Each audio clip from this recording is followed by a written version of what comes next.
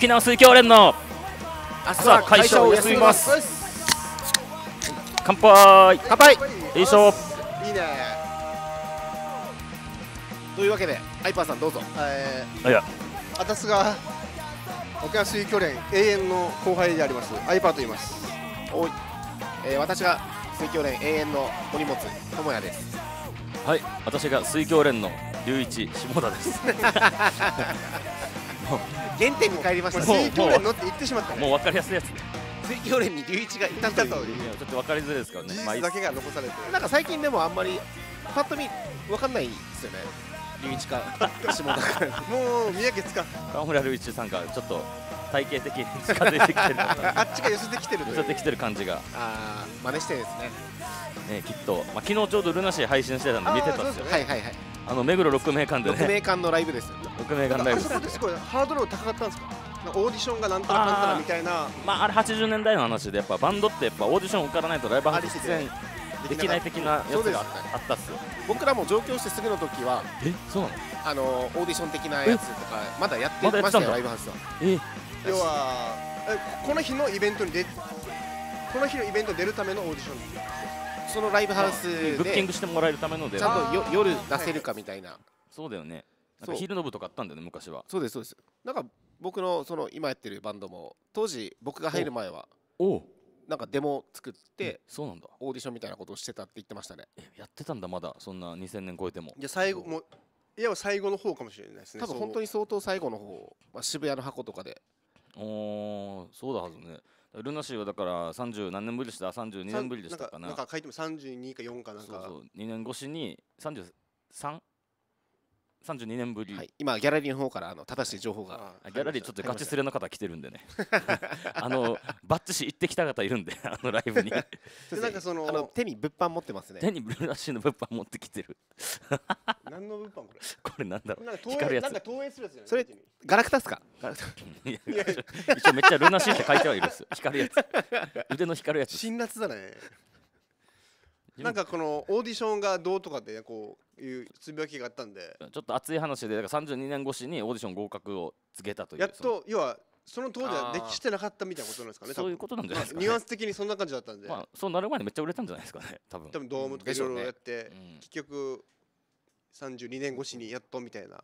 なんかあのあ沖縄のバンドってあの一昔前結構沖縄バンドブームがあったので、うん。沖縄からライブしに行くっていうと結構特別感ありましたね。特別扱いされる感が。ああなるほど。これでは2000年代初頭とか後半とか2000年中頃とかすになるのかな。インディーズブームそうっのすよね。そうそうそう。流れから来てるっていう。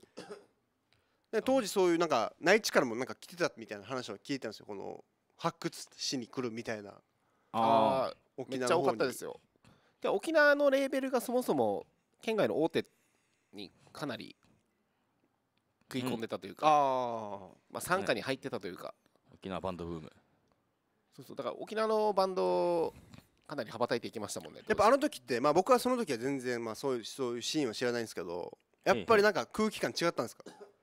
ギラついてるというか。ああでも県今内でもやっぱり。今思えばそうだったかもしれないまあ通り過ぎた後に今こう振り返ると。まあギラついてたっていうなんかいっぱいいたなバンドが。なんかチャラついてたよねチャラチャラいいっすよね。ね 逆にあのバンド化というよりはそのレーベルとかあの事務所の大人がギラついてたんじゃないですか。こいつら利用して儲けようおみたいな。金になるまあ 変態言い方すると。次。金になる若手を探してたかもしれないですね。言い方分かるいやなんかあれっすね。夢がないっすね。でも本人たちは次のスターをね夢を持ってる。HY が売れたから同じような女ボーカルのバンドでみたいな。系統だけ引っ張るみたいな。あ。これはあくまで個人の想像です見解です。想像の話ですよ。まあそんな感じっすよ。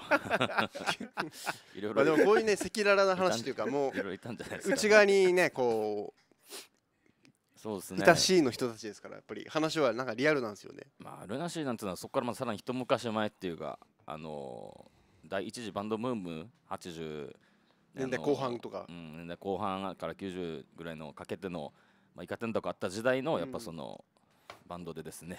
やっぱあのバンドのイメージってみんな80年代で止まってるんですけどね。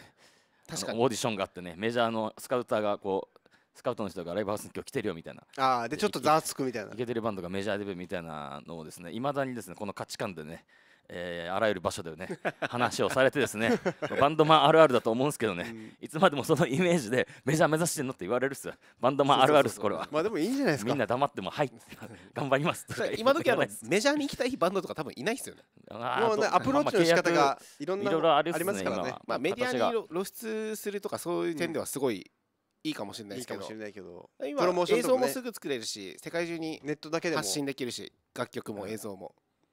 そうなんですよ今は。なんかあのーちょっと見たらなんかこの音楽自体を始めて半年みたいな子がまあ本当に多分打ち込みとかいろんなのでもそうめちゃめちゃ人気になってるみたいな。そうだそうだよね。そんなパターンンも今本当あるみたいなんで。うん。でも本当は何年もやってるみたいな。わからんその 建前だけで言ってるのかそれがの方が話題性があるからうん。そう言ってるのか分からんけど。よくいるじゃないですか。あの初めて作った曲とか。嘘つけよ。良すぎだろみたいな。なわけねえだろ。すごいすごい。あタカさん。クソみたいな曲作ってよ。あータカさんもうまたコメントどうもありがとうございます。あでも、えーまこっちゃんもこんばんは。イエピーさんはいはい。こんばんは。指つきましたね。ありがとうございます。タカさんのコメントもなんかそうですね。渋谷サイクロンとかは2000年代後半までデモテープ要求されてたはずということで。そうなんだ。うん。超最近だな、えールナシー6名間には他のイベントで呼ばれてだったから6名間としての合格ではなかった感じ。シード的な。あなるほど。そういうことですね。ああもう引っ張りだこの状態だったから合否判定の結果出す前にっていう。はいはい。あそうなんだ。でメジャー行かない典型例がゴールデンボンバーだからなっていうことで。あそうなんですね。確かに。あなるほど。ゴールデンボンバーみたいなのどうどう見てもなんかメジャー集 完全にメジャーだななのかと。あそうなインディーなのあれえーマジで。でも当時なんか衝撃的だったというかもう何も引かないっていう、ゴールデンボンバー、まあパフォーマーみたいな扱いではあると思うんですけど。えゴールデンボンバーって演奏しないんですか？しないですよ。しないですよ。あそれが売りっすよ。あの当てぶりっすよ。あなるほど でも一応ちゃんとベースとかギタードラムはいるんです一けど。応いるっす。何もできないって。まあでも曲作ってるのはそのボーカルの方なんで。はいはいはい。打ち込みとかはで作ってるのよ。だから本そのボーカルのキルインの方は多分すごい才能にあふれてる。でも3人もやっぱりあると思うんですけど。まあなんか面白い人だなライブ中に溶接したりとか。そうっすね。そういうことしてる溶接ってあのギター。男女の？やあの金属をあー。俺がやプライベートでやっ あ仕事でやってる溶接 あエッパさん今口滑りそうな プライベートではプライベートで。プライベートでもやってるよそれ溶接ゴールデンボンバせー先週も。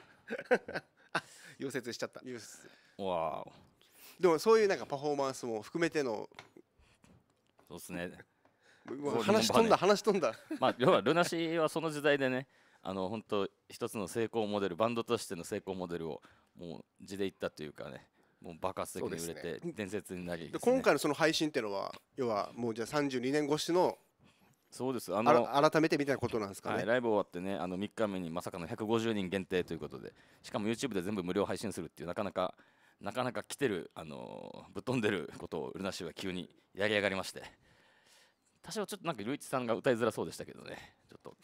かなりそこはちょっとあの指導した方がいいんじゃないですかやっぱり下田隆一からいや下田龍下流からやめましょう なんか最近本家超えた説が。近何も超えてないです。怖いこと言うのやめてください。何も超えてないです。やっぱこれあの判定人のあのプレッシャー半端ないですから、うんなかなかあのあルナシーぐらいで、まあ、何万人集めるようなバンドがあのちっちゃいねライブハウスで見れることってなかったんでなんかすごい新鮮でしたね。そういう人は。スレーブは嬉しいでしょうね。いやー発狂してましたね。あれ現場にいた人っていうのはんその要はファンクラブ限定とかそんな感じなんですか？抽選みたいですね。抽選でファンクラブからさらに抽選で。そうっすね。もう何万人かげじゃないとと無理でしょうね。ね。で当たった人マジすごいよな今ギャラリーにいるスレーブの方は6名間は行かれたんですか？ギャラレースレーブなかなか無理でした。外れましたか、ギャラスレの方は。ギャラス。ギャラギ あのャラスレ。水距離のラジオのあのススレイブ。スイスレ。水レブ。えまこっちゃんからコメントありがとうございます。麦かっこ猫は G シェルに来てたメジャーの人のきっかけで行った。あなるほどっすね。ああタイミング、うん麦猫沖縄のあのアーティストで、はいはい。中の人だ。中の人いるんですか長野人とまあ一応ね猫っていうことで。猫っすね。猫ですから。飼い主がいます。あ飼い主。飼い主がいます。そうっすね。まあ。麦は猫です。ああなるほどっすね。人ではないですよ。メジャーの人きっかけそうなんですね。メジャーデビューした猫。うん。それ一番すごい猫じゃないですか多分ねトップクラスだと思う世界で。100万回死んだね猫みたいな。猫界で。そうっすね。皆さん。ということでえ ーっと。今日はね多分あのゆるくダラダラ喋るだけなんで。あそうだね。ですね。今日はゲストもいませんので。ちょっともう先週ちょっとライブで自分もいろいろ頑張ってきましたよ。えー、っと日曜日でしたっけ？日曜日ですね。マルヒデフェス。マルヒデフェス。マルフィでフェス自体は2日ありましたよね。2日っすね。あそうっすね。ちょっと。そうそうあの、えーメタリカのトリビュートバンドはトリビュートバンド。前日もはったりかそうハッタリカ今回ゲストで来てもらったっすけどねハッタリカが土曜はレミーズでまさかのレミーズでね。えーワンマンライブっていうことで、まあ、メタリカのねもうトリビュートバンドでレミーズやっぱすごかったらしいですね。はいはい。9割はベイヘイだということで。ベイヘイの前にメタリカやられたらそれはもち盛り上がるでしょということでめちゃくちゃ盛り上がってたらしいですよ。すごいな。見たかったな。想像にたやすいしまあでも見たい見たかったですけどね。ちなみにあのマルヒデっていうのは那覇にあるあの居酒屋ですので。えーそすね。な長田の方？長そう田の串カツとホビーの店マルヒデ商店ですね。学の近くの。サブカルはい。というか、そうそうそう。結構いろんな方も来たりとかいろいろ紹介してくれたりとかメタリカも紹介してくれたりハッタリカですね。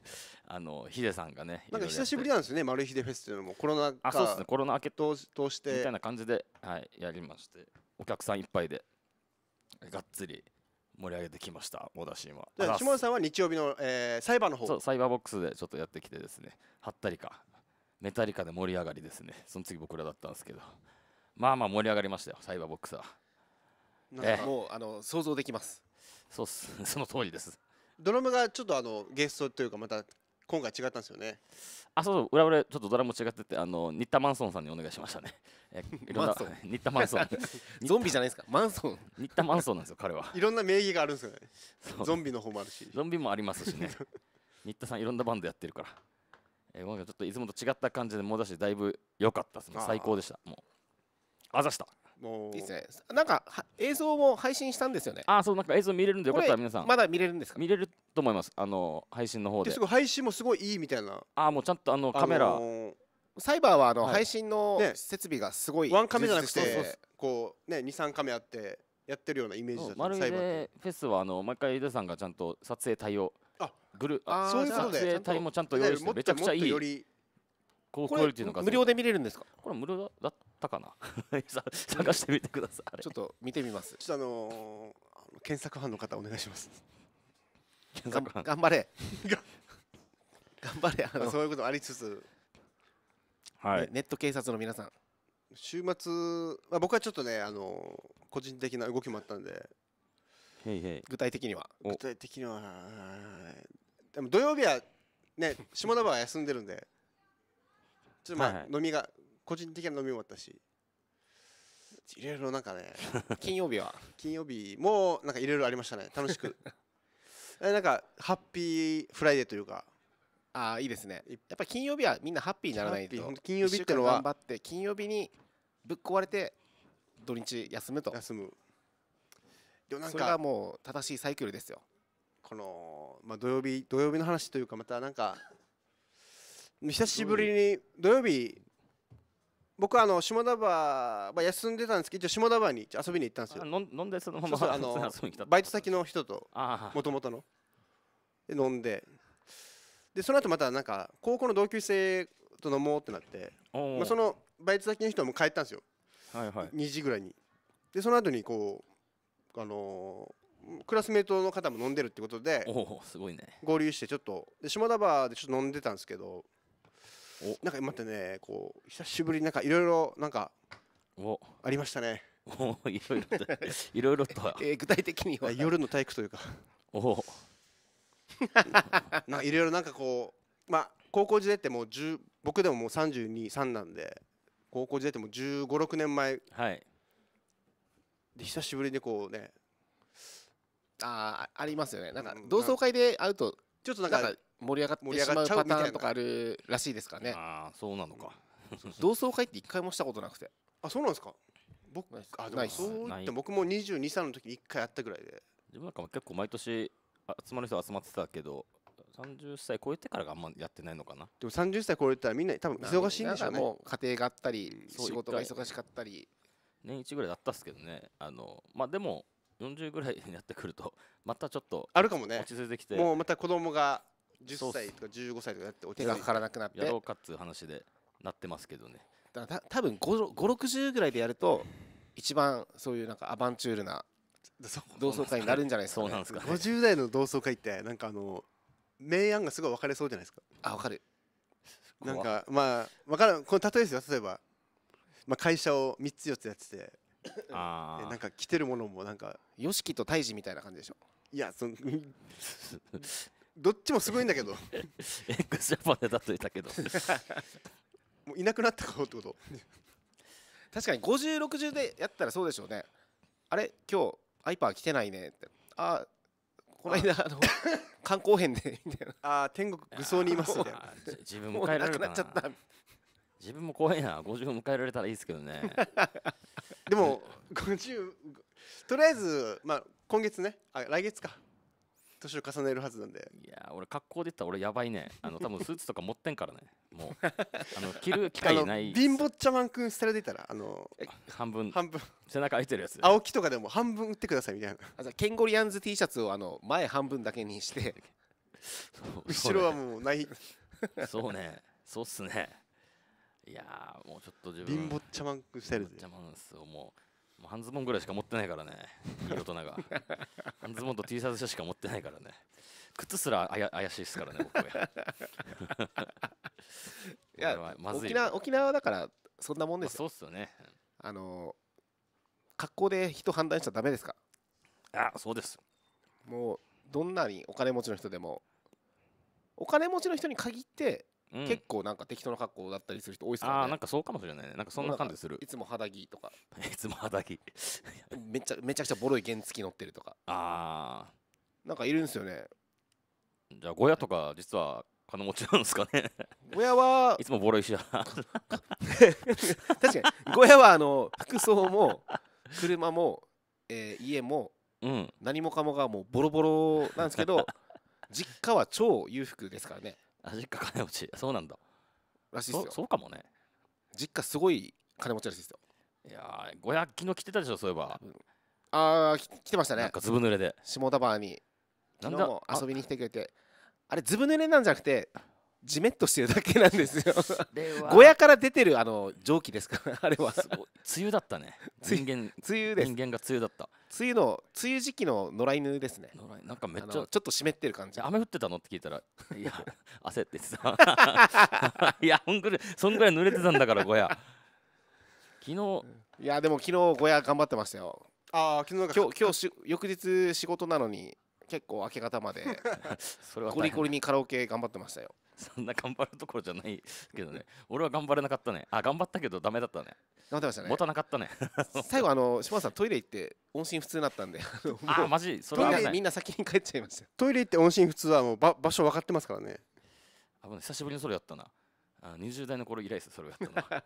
昨日はしょうがないですでも。あ多分引っ越したまま寝寝たっすかね。多分。座ったら多分ダメだったんでしょうね。座って多分電池が切れて。あのー、なんていうの足もみたいな。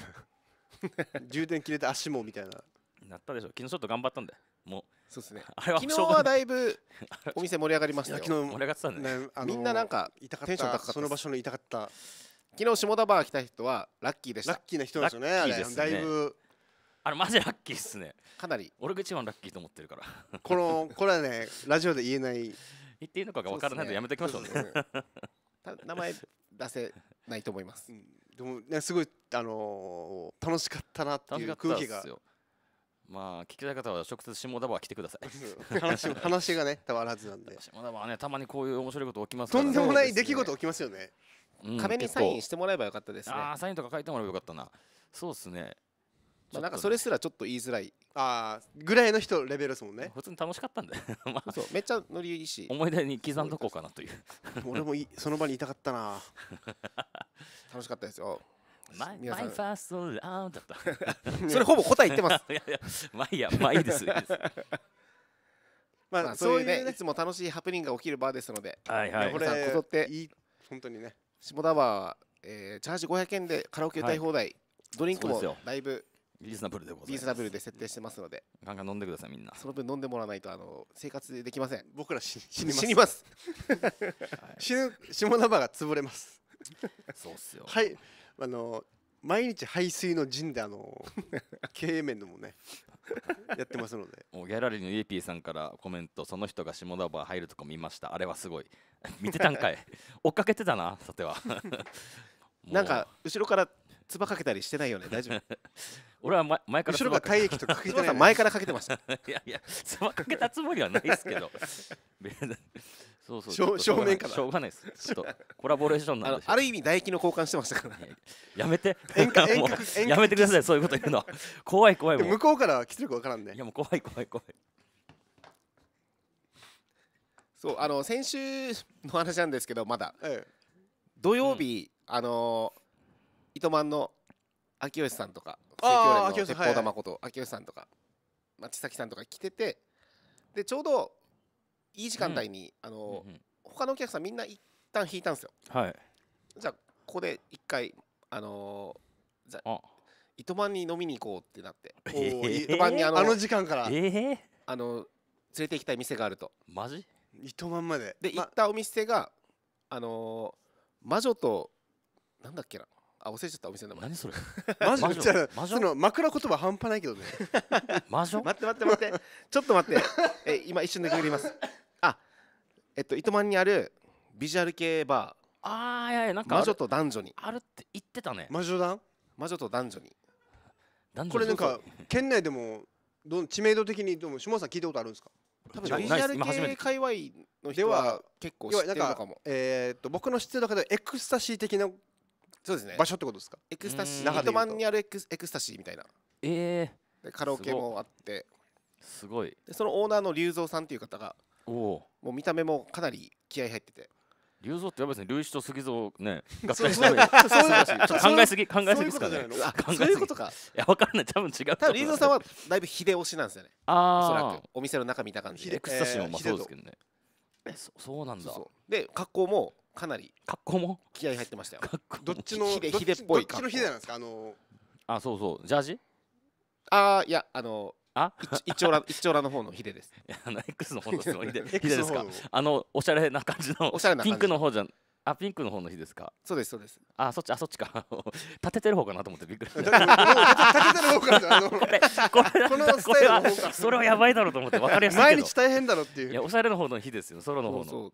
すごい面白かったですよ。立ててる方のそっヒデちかと思って。危もうない朝なのにガンガンお客さん入ってくるしカラオケ盛り上がってさすが。すごいです。あー。秋吉秋吉さんごちそうさまでした。なんかすごい。相当怒ってもらったっすあの日。秋吉さんなんかなんか一発当てた？もしかいや多分カツアゲしたんじゃない？いや糸満で。糸満で。あー怖いっすね。あじゃあ糸満から出たからカツアゲしたんじゃああ那覇でねやってから。那覇に来てマンチカって言って。いつの話だよ。糸満じゃないから多分。オーパーとかいつの話ですかマジでいあのー沖江通りとかでやってるんじゃない？あのーパラダイス通りとか。いやーもう海南かもしれないですよ。わかんないけど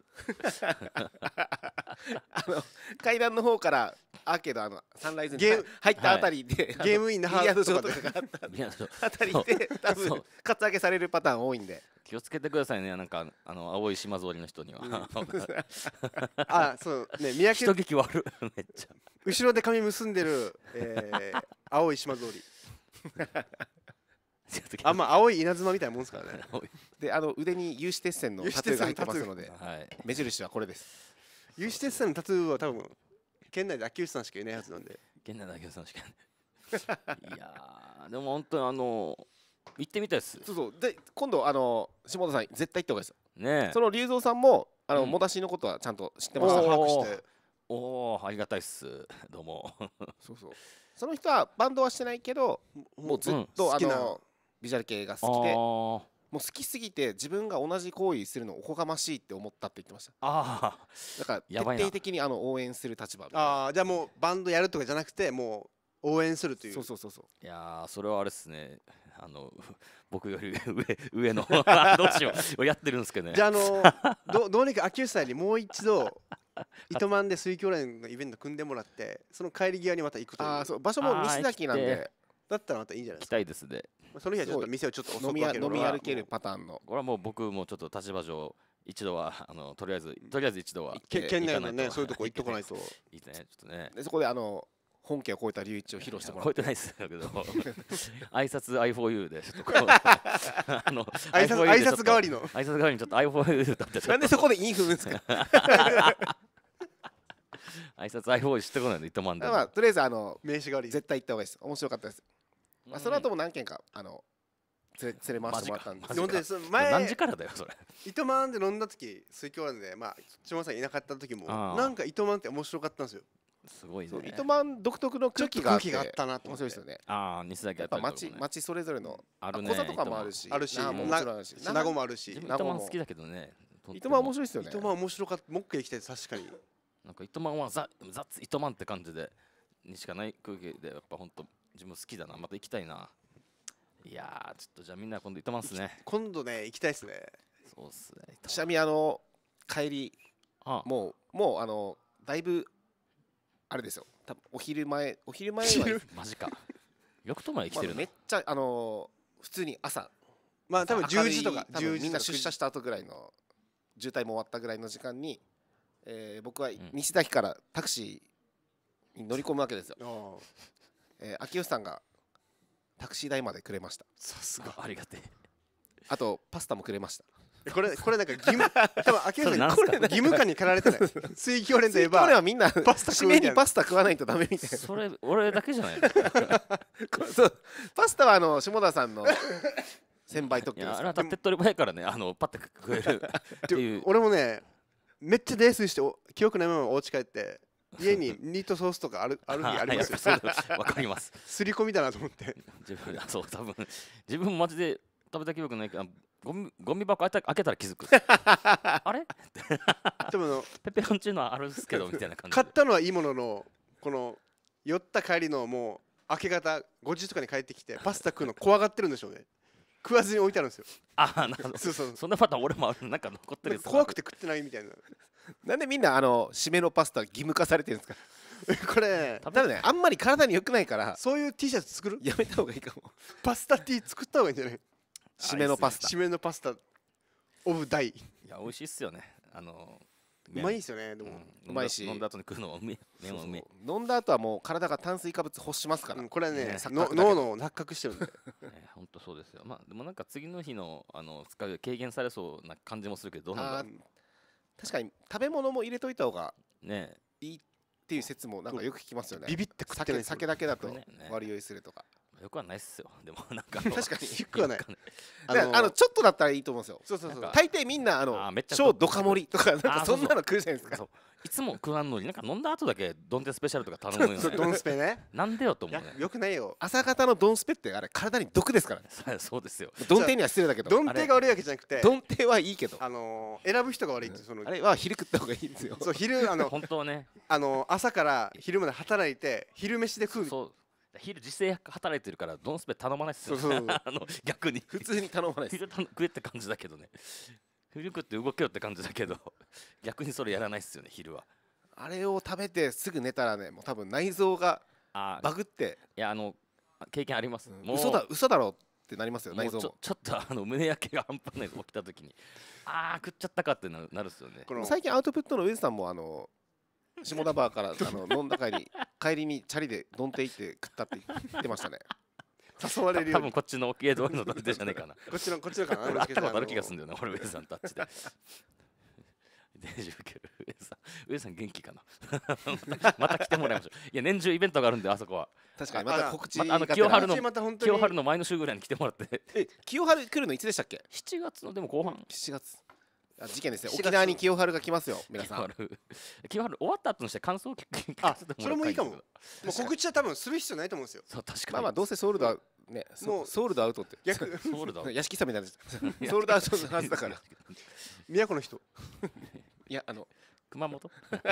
いいいですよ屋敷さんの話。ここはあの拾わないんでね。そうそうそうそう。昨日も結構これで。変なリベロしちゃっリスナー盛り上がったからリスナーすいません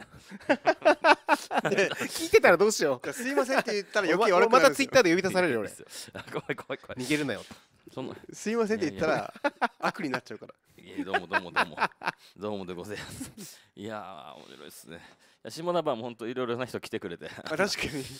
あの誰が来たっけ？あでも深夜からあのピロンピロン下田さん来てくれました。回もありましたねピロンピロン来た時は、えーちょうど他にお客さんが全然いなかったんでもう本当にカウンターに一人とかだしかい閉めるなくてかなみたいな空気漂ってた時にもねうだからあの、ね、お笑い芸人のあの本領発揮してて。ステステージに。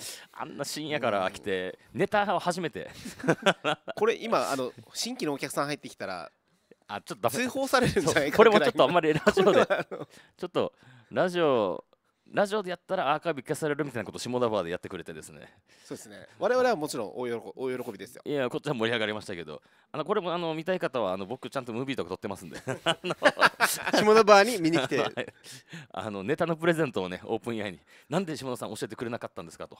あ確かに長いで会ってませんでしたから。ええ。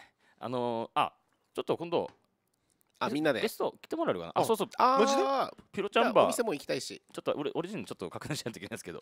桜坂で でかくね？お店やってますからね。あ桜坂近いね。あそうめっちゃ近近くのやつでちょコロナ前はね結構行ってたんですけど自分も何回かちょこちょこ。ちょっとコロナ禍やってるか分かんなくなってから。だからあのやってるっていうことなんでピロちゃんバー。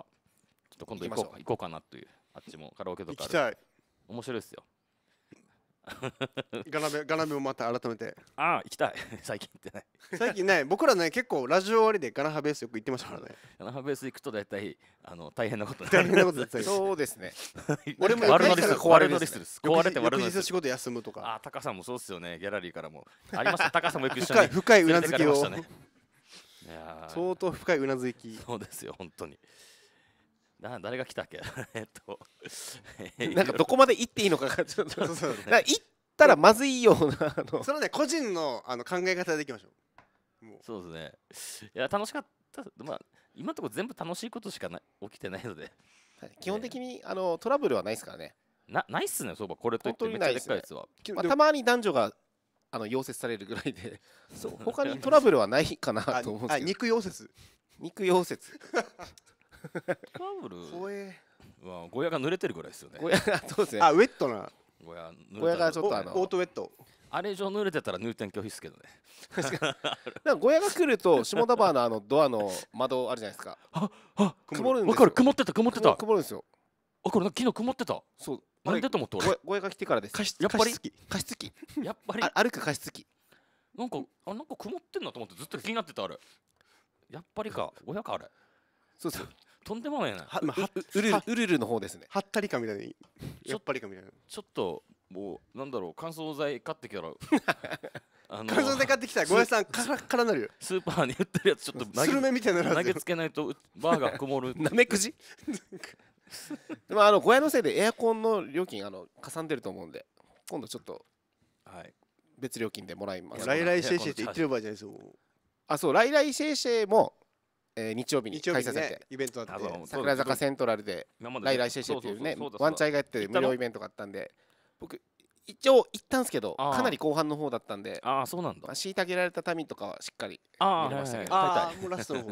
で終わってその後うちな屋で打ち上げがあって。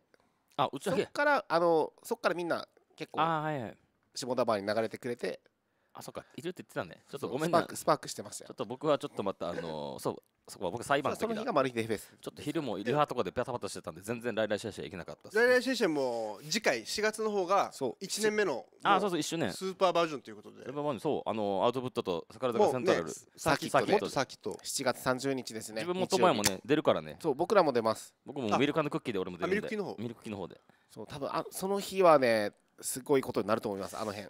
もうなんか沖縄インディーズのねなんかバンドが大集結みたいな感じで。そうですテン楽しみブス大変なことになるんですか いや多分みんな移動しながらローソンで悪い地域だなだからローソンの収益になりますよねそう。ローソンもあれみんなあのローソンじゃなく入て箱で多分箱で買う。と思うね。偉いから。買いましょう。みんなプロバンプロあのいなんだろうアマチュアとしてプロのバンドばっかだから。ライブハウスのことよく分かってるんで。プライドを持ってる方だみんな。しかも売れな売れないプロ。アウトプットが最近あのカードを入れたということで大幅に。マジで？カード決済あのあのさっペイペイだきちょうどけじゃなくて？あもういっぱいいろいろ使えます今。あた。あじゃあこれは赤嶺誠さん。誠は聞いてます。か出番出番で出番です。出番ですよ。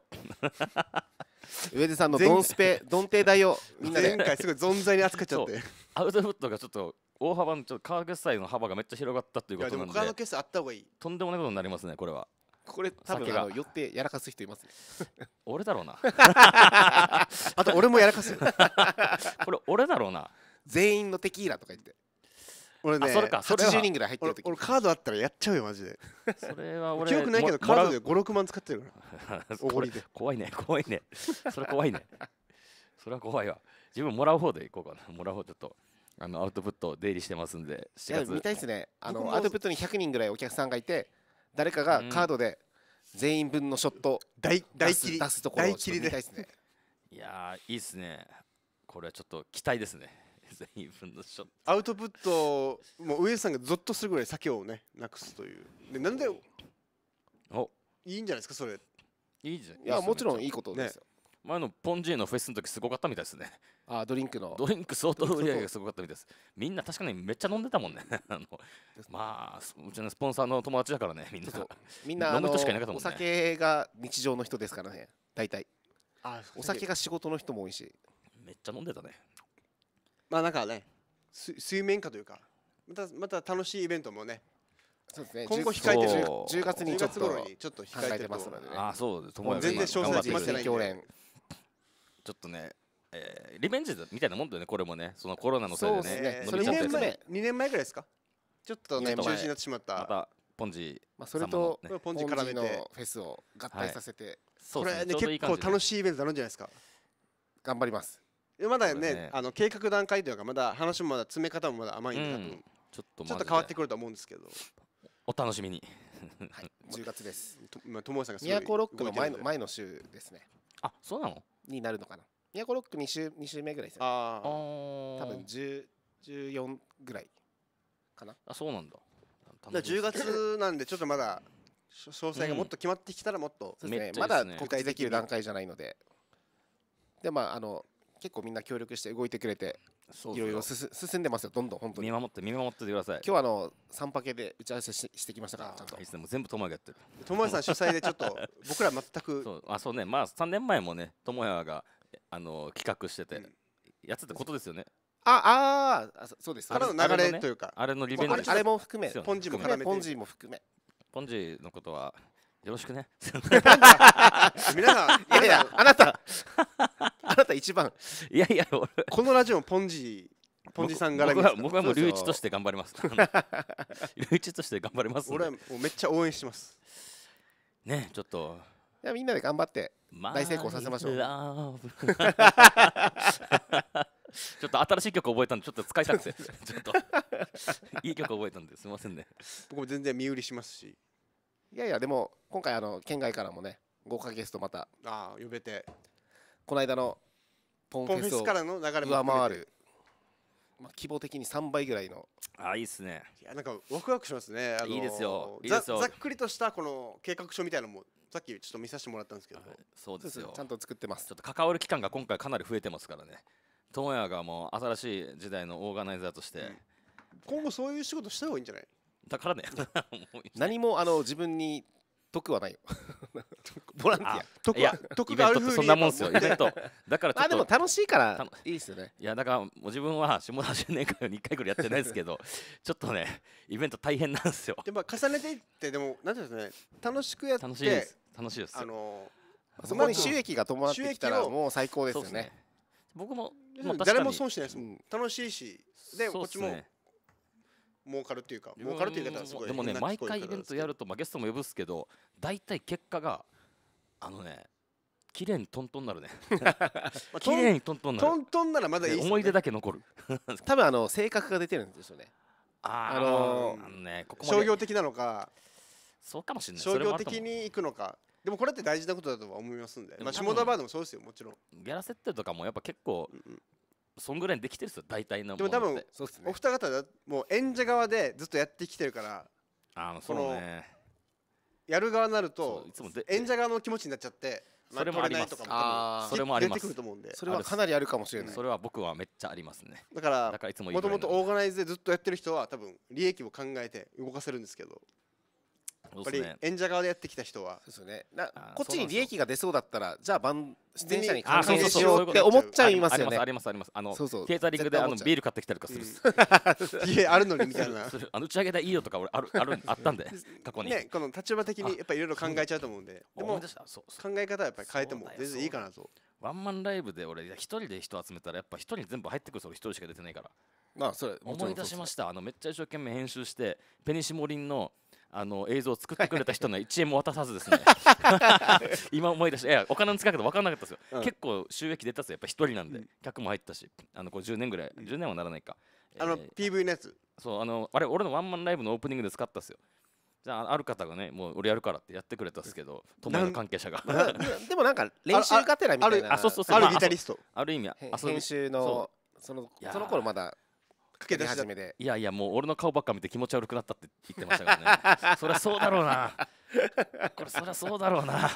あれは気持ち悪いもんな。い気持ち。やロケまで行ってもういくつか変えて場所も海とか行っていろいろやってくれて招き猫とか。あそうそうマネキン猫とか。これあの原付に乗ってるシーン大好きですよ。あれは全部あのプロデュースプロデューサーの指示です。上から見下ろしてとか。あの所作バーできトイレで決まった風にしてとか。なんか言われたっすよあれ。そう。めっちゃ面白い。しんさんね。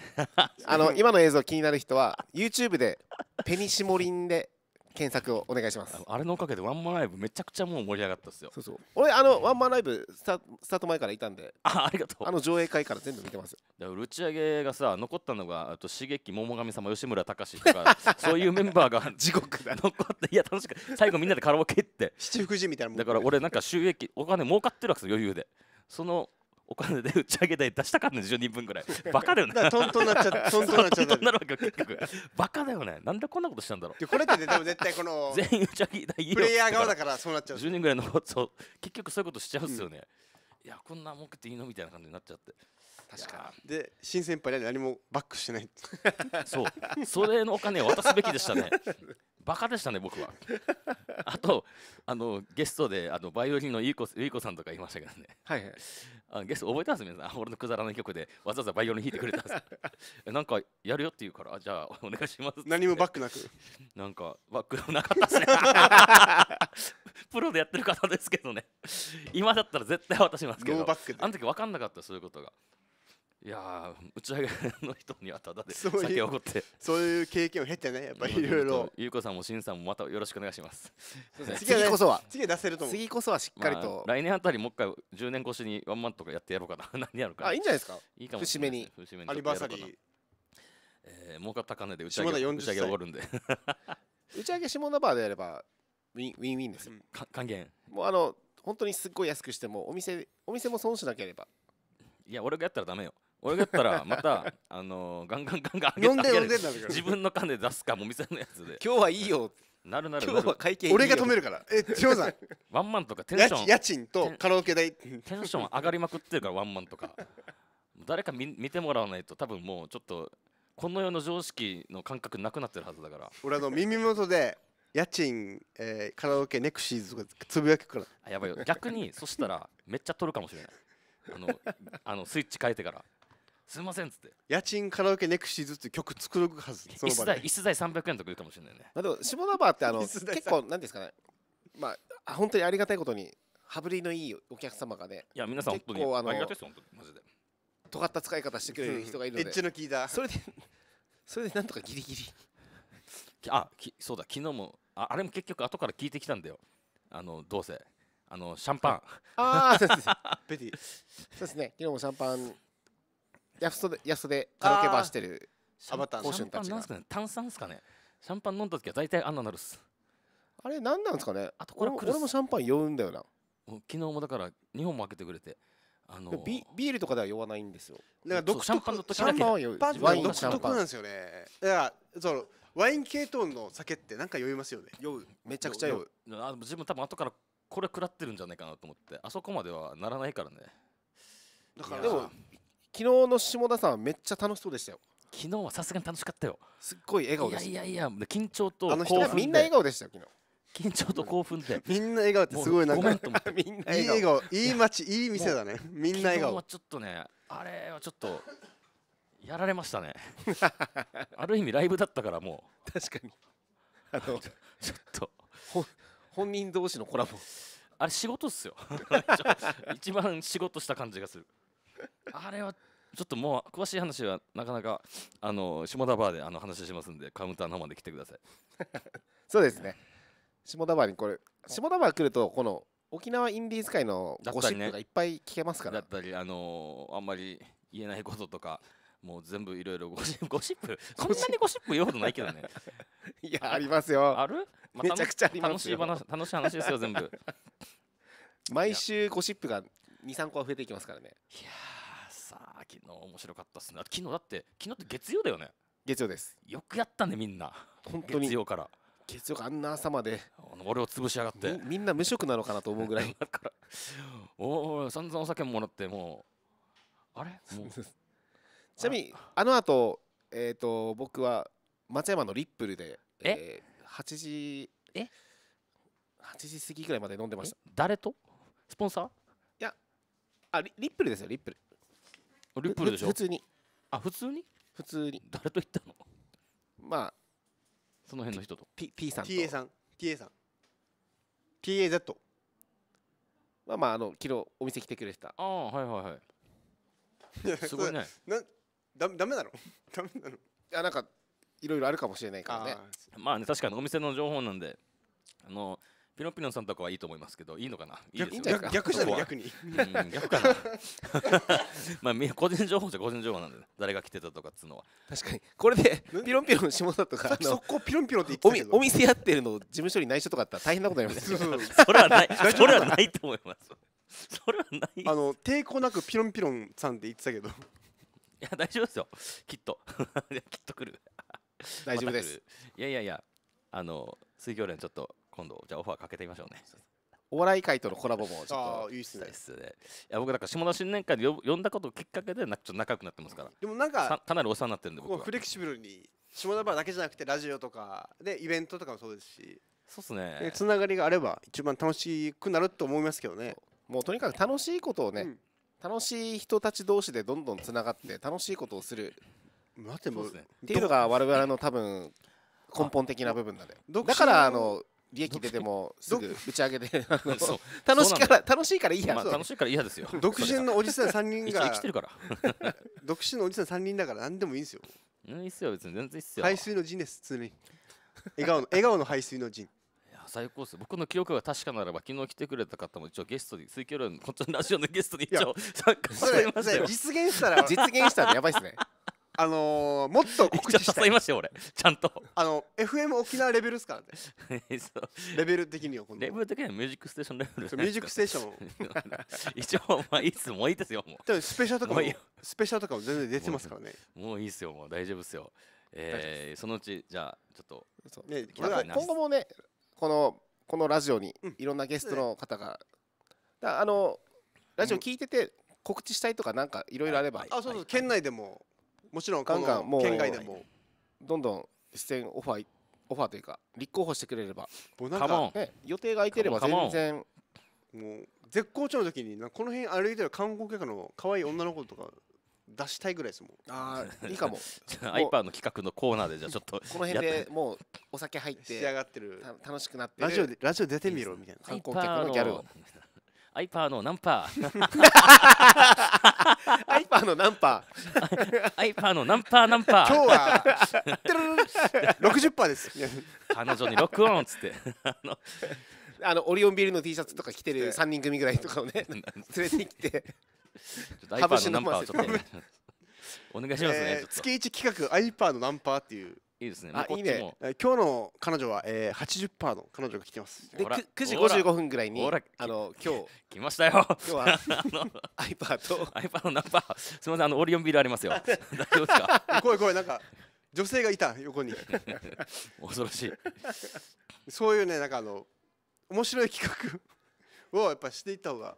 あいいんじゃないですかねめちゃくちゃ。俺そしたらもう頑張るかアイパーらのナンパいいな。うん今日は失敗でした。うん。つうことドでンドンキ前ぐいらいで国際通りのドン・キホーテの前であのオリオンビルの T シャツお揃いで着てるお2人二人とかを3人組ねとかラジオ出ませんか。誘い込んで。あのー、あ今日はな何しに？言うは何しに？言うは何しに？あの打ちなえっていう。ちょっとそういうのどこから来たんですか？質問で。あいいんじゃないですかめちゃくちゃ。今日の観光客のねね。人。沖縄に何しに来たとか掘り下げて。そうそうそうねあもうちょっと面白いかも。なんかそういう企画やったら面白そうっすね。もう僕の希望としても完全に「えだって沖縄ってハッピーじゃん」とか言ってちょっと来てほしいっすね。そういう人に来てほしいっすよねめちゃくちゃ。男だったら殴りたいっすね。男だったら殴りたい。そうかもしれない。あのサーターアンダギーをあの水なしで5つ食わすとか。ああなるほど。危ねえな。オリオンビールと。ゴリオンビール水で水マジ水なしで。のれん街とかでやったらいいんじゃないですかねあこの前俺のれん街の前で酔っ払って歌ったらあの路上ね、うん。1000円もらった、1000円もらった。いや意外にいこれはビジネスチャンスじゃないですか。こ れいける意外にいけるかもよ。だからだからなんかめっちゃいい人その人が1000円くれた。なんかそう店の宣伝もしてたよ。企画としてなんか本当に動かせるんだったらなんかやってみたいですね。楽しい面白そう。えいいっすね。いいんじゃないせっかくねこういうナンパの方？そうで僕も路上ライブじゃなくてナナンパの方ね僕も結婚できるかもしれないし。路上ライブして集まった人ナンパすればいいですか？ねじゃあ僕歌って。でもアイパーのお母さんあの県外の人との結婚認めてないからね。そうですね。固くなんですよ。遊びだったんじゃない？遊びだった。らでもこれさ余計傷つくよおお母さん。母さん心配するよ。でも俺おばあに言われたことがあってからなんかななんていうかあのなんか彼女かな当時だなんなんでこういうの言われたか分からんけど、うん。あああのと付き合ったらダメだよみたいに言われて。いや彼女だったか分かんないよ。だたまたま一緒にいた女の人かもしれないけど。あでもおばあが笑いながら「え遊びだったらいいけどさ」って言われて。あ おばあ怖っと思って。え島田さんのお遊びだったばらいいよって言われて。おばはなんか いやもうと当時なんかやっぱりプレイがある。いやー戦前の人だからね。全然すごいね。あのハサミでネズミ殺すんですよね。挟みだ島さんのおばからゴキブリホイホイみたいあネズミ捕りに子供ネズミがいっぱいかかってたわけさチューチューチューチューして。チュチュチュいや俺酔っ払って帰ってきたらおばあがこのネズミ捕りにかかったネズミをハサミでひ一歩一歩ブシッブシです。刺し殺し殺してるわけよ。俺もうめっちゃ怖いと思ってこれ。もう戦前の人怖いよ。あでも戦前の人ってねウリハ平気で。ウリハみたいな感じで。ブシッブシッいやあいやおばあもうそのまま。あのギロワンさんがじゃあ俺ねちょっとちらちょっとちらついたけど。いやマジでお家帰ってきた。ら夜中からおばあがこんな人ハサミでやってたから。いやーおじおばおはすごいやつだと思って。うちのおじももうゴキブリとかクモとか全部手のひらで押しつぶしてからだからね。あ足が一番効率とかあのね子孫もふ増えそうだしすごかったよおじおばはちょっとたくましすぎてプレッシャーで殺すタイプのあ遊びだったらいいけどさって笑いながら言ってたのはマジかと思って俺 なんかそれと。なんかそういうなんかポップな なんかいや。いやすごいっすよ。そうでも あの全然僕らのおじいちゃんおばあちゃん世代ってみんな結構やらかしまくってますよね。あ全然あの別の女とも子供が実はいるとか。と当時のねそういうまあいろいろあるっすよね。社会情勢とかもあるでしょうね。そう。携帯がないから多分浮気がバレなかったんだろうね。今今バレすぎやりすぎあれこの世の中。すぐはまあすぐ SNS で告知発して LINE でもね。あれすぐ。ほんと良くないよ。感覚的にもちょっと寛容だった部分はあるのかなと。あれみんなビクビクしてるよね。いいんじゃないですかね。まあ今は今まで まあがんじがらめの現代も悪い悪いもんじゃないですよ。はい。縛られてるからこそ気持ちよさがありますからね。そうっすねあそれとそれは あすみませんあの違う違うの？みんな共感すると思うんですけど。あコメント欄で、えー、銀ちゃんからなんかいろいろ来てるんですけど、えー、遅れてるんで 何の話だったか忘れもう通り過ぎたあ泡なんか来るっていうのはそれふお風呂の話なのかな泡なんか来るえー、加湿器とは何のことでしょうか？あゴーヤのことですか？あごめんなさん。なさごごやかしえー縛られていたのは iPad の性癖。あもちろんですよ。あタカさんが来てますね。自由がない方がいいそうでも自由。iPad なんかだいぶオフェンシブ。あ両方いけるんですよやっぱり。オフェンスディフェンス。万能型なんだ。オフェンスもいけるしまあ相手がオフェンスならディフェンスに回るし。いいね。はい。ということで今週の、はい。はい。今週は いやいやいい感じでフリートークができたんじゃないかなって。すみません。あのたまにはいいね。お願いします。たまには。はい。えー沖縄水教連の明日は会社を休みます。この放送はあなたの美と健康を紡ぎます新都心アメ区楽市ルーボー裏手エステティックサロン併設ポンジ整骨院の提供でお送りしました。ありがとうございます。ちなみにですね来週は、はいは神里丸のバー、はい。なんか。なんかから昨日なんかからですね。昨日健太さんがゲストで来てくれますから。じゃあちゃんと確認したんで。いいんだよね。来週でいいんだよねって一応言ってたんで。いや全然もう告知もしてるっていうことをちゃんと言ったんで。あのーハイアットからノーレンプラザ行ったんで、はい。今フィッシュバーガー。そう。そう。ですね無課長のフィッシュバーガーをですね。やった。あ罪悪感のないはい。ハンバーガなんか来週食べれるとかいう噂が。僕らあの食べれるっぽいですよ。やばー。これはちょっとマジ楽しみだ。めっちゃいいやつでしょだって。もう前日からあのご飯食べないです。ー 大丈夫かな？まあその場俺あのハンバーガーの包み紙まで食いそうなんだけど。腹減って。あーもう美味しいんじゃない？あのボンタームの包み紙みたいな感じうん食べれる溶けるんじゃあない？ですか、のー、なんていうの？あるねそういうやつ。そういうやつある 大丈夫？これも。そうしかもなんか沖縄のね県産のそうだイラブチャートが結そうなの？県ーで。あそうなんだ。もともとは築地でやっぱり人気ではあるんですけど、みたいね言ってたけど。沖縄沖縄では県産の魚そうなんだ。これめっちゃもっと楽しみでですね。結構試行錯誤してましたね。この県産の魚は癖があるから。ああはいはいはい。ちょっとこじゃあ来週のゲストはじゃあ何かから健太さんということで。うはい。じゃよろしくお願いします。ああ10秒来週もお楽しみに。いい、よろしくお願いします。こんなさっぱり終わっていいんだな。ありがとう。こっからね、何かあるよ。いやいやいや、もうあと5秒。うんと、じゃあ、来週。Every